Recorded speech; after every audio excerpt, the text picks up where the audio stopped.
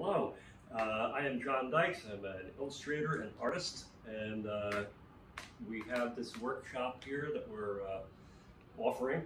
Um, and I'm going to go through the process of uh, creating a large painting such as this um, with um, mixed media, um, uh, collage and acrylic on board, um, and uh, mixing traditional and digital media to, to get there. Um, so uh, the process uh, to, to get to a final like that uh, starts with uh, the same way my illustration projects and other paintings start, uh, and that is with um, sketches and ideas. Um, and so we'll move over to the sketch. I work in sketchbooks um, and um, we'll use the sketchbooks to uh, keep track of ideas um, and thoughts and, uh, and people and Zoom meeting characters and um, anything and everything. Um, uh, from life drawing to uh, um, to conceptual ideas, um, and uh, I, I, just love working um, uh, in sketchbooks and and uh, developing ideas this way. Um, and I've been doing this since uh, since high school, so I've got um, as you can see on the top shelf, uh, that's not all of them, but there are um, roughly one or two books a year for uh, 30 years, so uh, it's, it's a lot of them. More than you more than you'd care to look at, I think.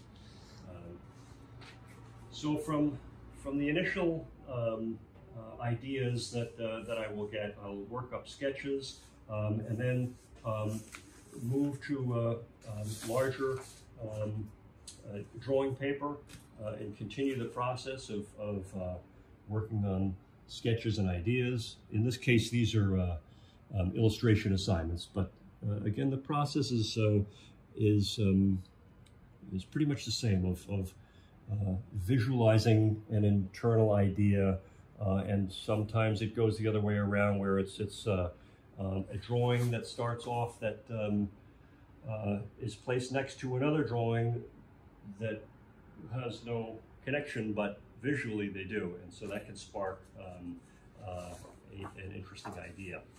Um, I'll also keep track of uh, inspirational material. So I've got stacks of, of these sort of things, um, things that I'll print out um, that I just find interesting that I think could make um, a good basis for a painting.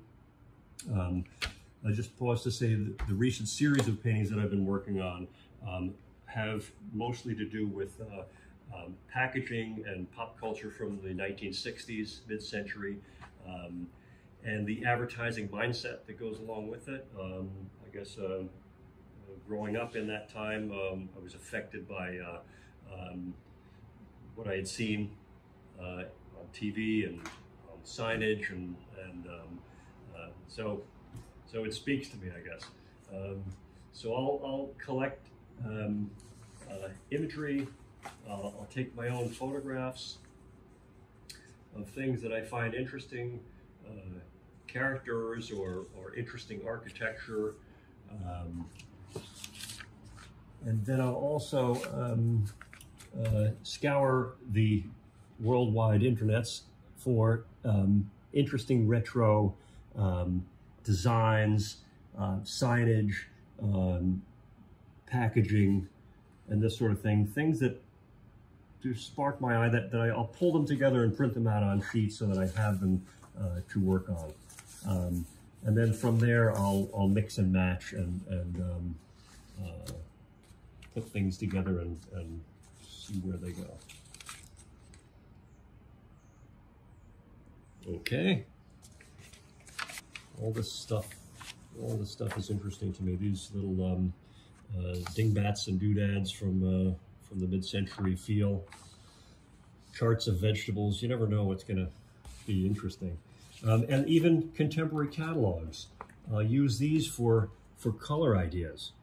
Um, you know, there, there are designers and, and, and uh, artists working on contemporary color uh, that can provide a great launching point for uh, color schemes and, and, and um, color palettes. So I love going through uh, contemporary um, uh, magazines. No, I don't work for Frontgate, but I like it. Uh, the other thing I'll do is uh, collect postcards, um, as well as my own photographs. Contemporary illustrators' work. So anything and everything. I, I, I kind of take pride in, in um, trying to get as varied a uh, a reference base or illustration base um, reference base as I can, um, because I think that can add to uh, an interesting um, uh, interesting outcome. If if you can't really draw the line back to one influence or one artist, um, even Velvet Elvis cards will do the trick as well as other artists. Josef Albers, Ideas for Color. Again, these have you know influenced other paintings that I've had. So kind of piggybacking on the masters and and uh, uh, getting color concepts can can really help start um, the process because um, things like color schemes can hold you up if you don't if you're not sure where to go. Um, usually happens because you don't know where you're starting from. It, it, helps to have some sort of starting point and then uh, um, move from there. So I guess that's uh, I guess that's part one. Okay, so moving from the sketch stage to the adding some digital, um, what I do is uh, uh I take some initial drawings um, and, uh, and, and sketches and and open them up in Photoshop um, and um, start to compose them uh, to see how it might look. Um, so this is um, uh, actually um, a, mixture of, uh, of a, a, printout of a matchbook cover um, that I, I got online and uh, increased in size and printed out and glued down. And I, so I got to start, uh, I kind of go back and forth. So I got to start by gluing that down onto the surface. Um, but I was unsure of how to get the Felix in there. Um, so I used Photoshop to try different options. Um, and the original one was just the, the black uh, like this, but I thought I could do something something maybe more interesting. Actually, this is the first uh, first before any any uh, um, and then um, uh, this is the actual start of the painting. You can see the floor here. So this is um, uh, collage on uh, wood panel, and this is uh, acrylic.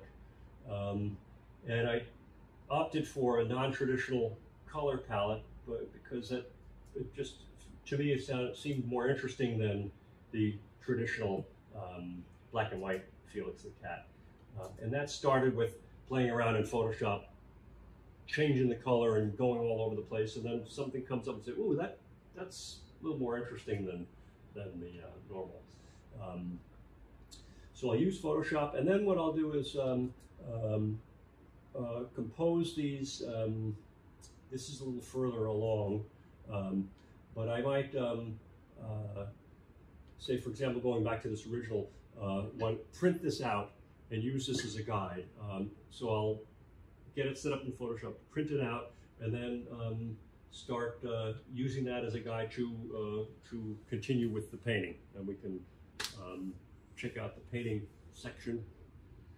So uh, just to show part of the process of working with Photoshop, uh, I opened up a, a different uh, um, file uh, of a rough that I'm I've started to show um, in terms of the workshop. Um, and um, again, started off as some reason 60s kind of packaging that I've been attracted to and I wanted to paint that large. Um, but I didn't, I want to do something other than just the packaging. And so somehow um, dancing figures came, came to mind. Um, so again, this is reference I find online. So generally I have the idea, well, I'll do the, the chiclets gum with dancing figures. Um, I don't know exactly where the dancing figures will end up being, um, but I'm starting off with um, the uh. And what I do is I place this on a file that's the exact same proportion as my um, canvas, uh, which is 34, 36 by 48, something like that, 36 by 48 inches. Um, and I want to figure out where I want this in in in uh, in um, relation to um, uh, the composition. Um, and so I'll start with um, with the background of the uh, of the uh, chiclets, and then I'll, once I get to a further stage, I'll add in the uh, uh, the figures. But I'll then go back and forth with Photoshop and manipulate and and, and um, try different positionings.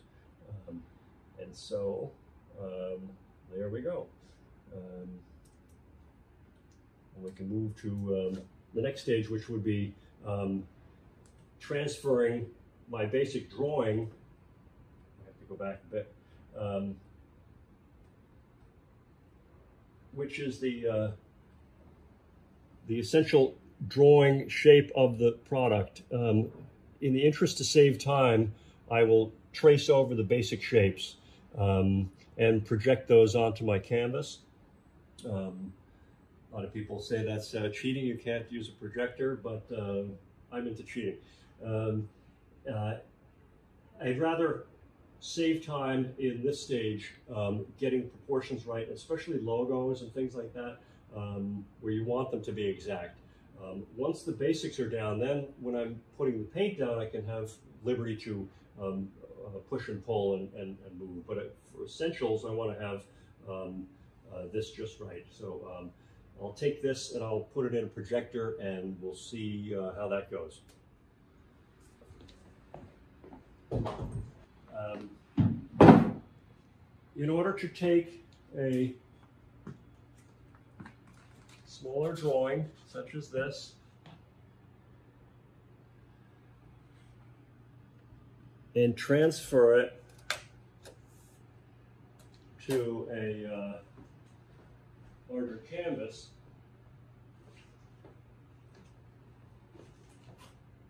um, I use the projector. And these projectors come in different shapes and sizes. But um, again, we could draw a grid on the canvas and draw these things out, um, and that's that's one option. Um, but this is uh, is much faster. Um, and I've got to do this when the um, after dark because there's too much light in here right now. But essentially, um, I lay the canvas right under the uh, projector, turn the projector on, and the light um, projects the image onto the uh, surface, and I uh, get the focus just right with this, and get the uh, uh, get it exactly right, and then I pencil it in with uh, with colored pencils or or chalk or pencil, whatever. So from the uh, transferred image, um, I move to blocking in the colors. Um, and again, um, I'm looking to um, get to a point where um, the, uh, the painting will be layered and most likely uh, there will be collage elements on there. Um, so the idea is to block in the colors. the initial colors don't matter as much uh, because 90% of the time they'll be covered over and covered again. Um, so um, the object at this point for me is to block in the colors essentially as, as quickly as I can. Um, so I'll be pretty open with the um, my uh, mixture of color. I don't want to be too, I don't need to be too exact. Um, come up with some some god-awful mixture of yellow. Um, later on in the process, I will, um, for example, um, be more specific with the colors. So once I've got the basics in, I'll want to match certain colors. So I'll um, use these um, uh, Pantone books um, that have color collections and really get to just the color that I want. this is for the final or top coats. and then, you know, puts, put little chits down there or little sections um, so that I have that as a guide as I'm mixing color. Um, and I'll do that in, in, these yogurt containers or whatever because if you're painting over a large area, you want to be sure you don't run out of paint. Um, because if you need to go in for a second coat uh, or, touch up with the same color, um, it's a lot easier having the paint um, already mixed and ready to roll rather than trying to mix it again and, and match it. Um, and some of my reference here, so we're just gonna. The hope actually is to, um, even though the top color will uh, will vary, um, the hope is that some of this um, underlying color will peek through in certain areas on the final.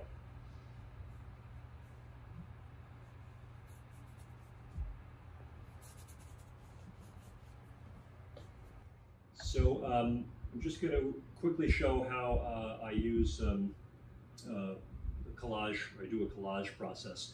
Um, again, getting back to uh, the piece we were looking at before, some of these pieces are um, uh, photographs of, of, Dean Martin that I had uh, gotten online, and then um, put a dot pattern um, with Photoshop, um, and then printed out in sections, and then cut up. So I have these sections of just regular copy paper um, printed out, um, as well as some of these little um, little things here, uh, which are just printouts that I, I do right here. Um, and the next stage is to get those glued to the surface. Um, so what I've got here is another painting that I started, um, and I have no idea where this is going, but I want to uh, use this to show. I'll start off with a uh, birch panel. Um, and um, uh, I'm just going to glue some of these down and show you. Uh, this particular technique works really well uh, because um, when it's done right, um, it, it, it, um, it glues the, um, uh, the details to a board, uh, which I can just show you right here real quickly. it glues them down very, very flat and permanent, and this is a great surface to then paint over. Um, so this is just started with, uh, I don't know, again, where this is going, but I'll go over uh, this with, uh, um, with, with paint, and, and, the technique of this collage uh, is such that it, uh, um, it stays nice and flat, um, and you can paint over it without, without too much problem. I tried all sorts of variations with spray mount and Mod Podge and and all this stuff, and it doesn't. They don't seem to work for me because uh, then. Uh, if you pour the acrylic resin over it, it bubbles up and causes all, all sorts of uh, unhappiness. Um, so here I'll just um, put these basically in position um, and then uh, use this um, uh, gloss medium and varnish um, and put down too much of it obviously.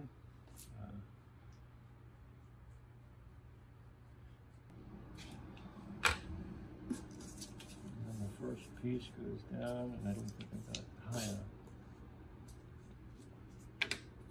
You got to make sure the whole area is covered. If you have areas that are not, then it'll tend to bubble up.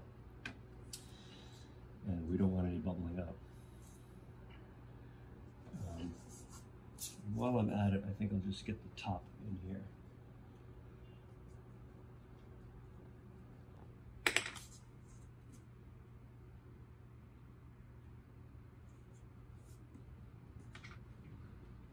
Careful of my own rules here.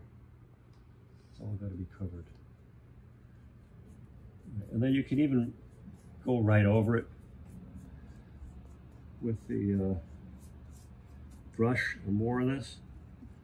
Um, and as you can see, it's starting to uh, starting to act up here, bubble up. But if we use a, a burnisher,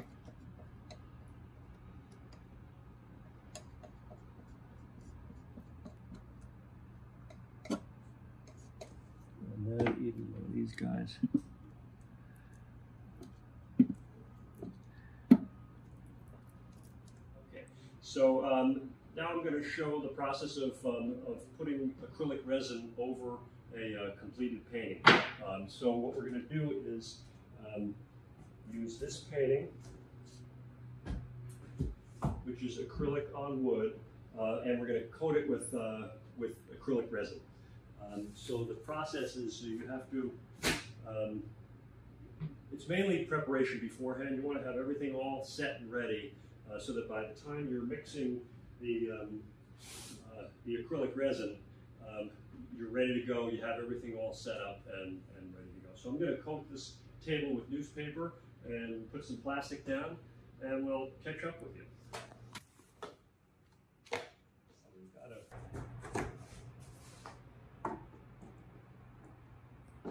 Okay. Um, the um, resin will go over the edge and we'll need a, a brush or a spatula to kind of clear it up over here.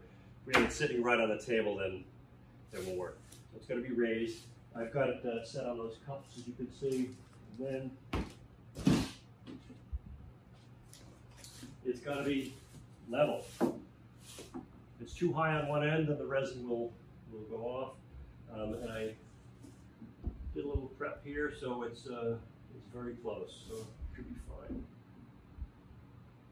So we're going to mix the resin and the hardener, resin and the hardener.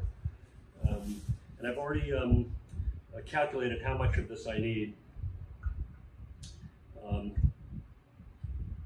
the company that sells this has an online calculator. Um, if you go to artresin.com and you put in the size, you go to the calculator and you go to the size um, for the uh, painting that you're covering. Uh, so in this case, it's 48 by 34 or something like that. Um, it'll tell you how much uh, of this you need. Um, and we will do that. Um, so this is the resin. Double check for that.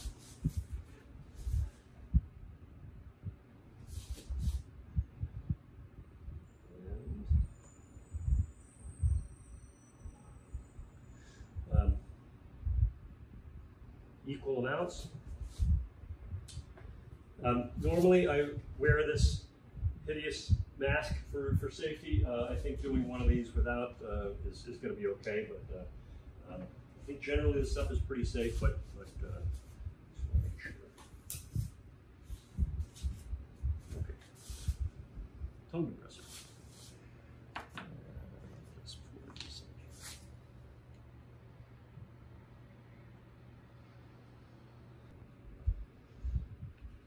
It's dirty work, but somebody got to do it.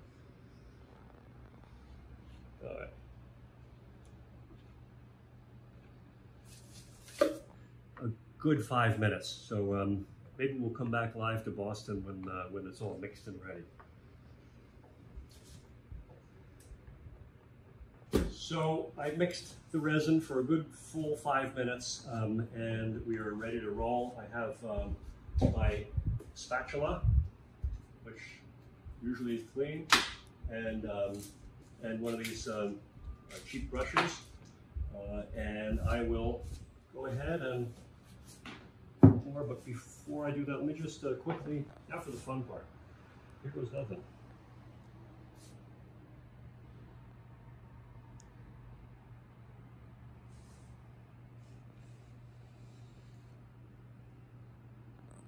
To the edges.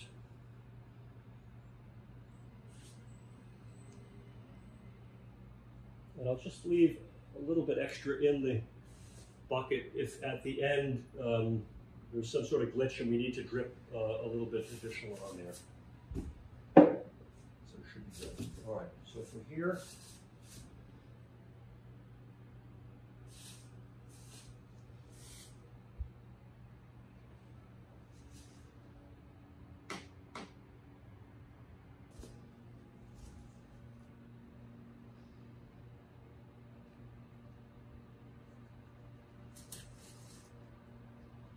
there's some uh, imperfections in the wood. I'm kind of, and there's screws on the top here. Um, and so I'm making sure that the resin gets in into those nooks and crannies. And then there's also, uh, you have to watch out for imperfections like things, pieces of dust, right? Or an eyelash or something. Oops.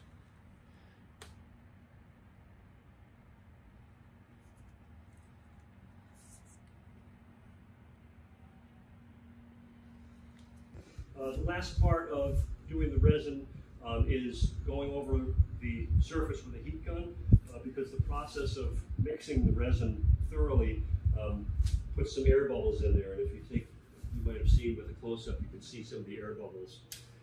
Um, so this is a uh, essentially a heat gun that will go ahead. I'll pop all the bubbles.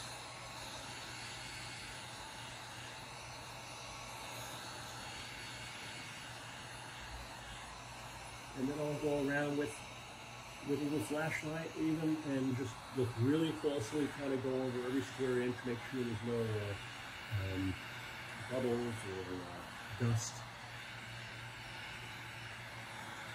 And then once it's all, all set, then um, it's best to uh, either put a plastic cover over.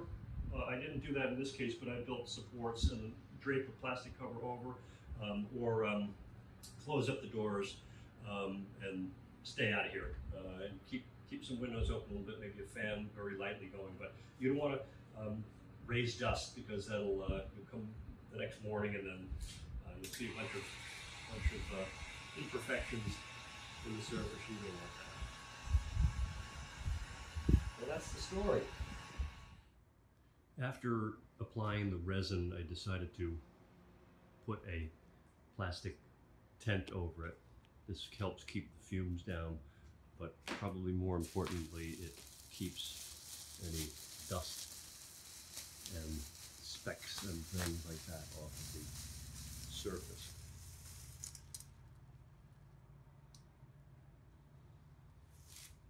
We'll take a closer look.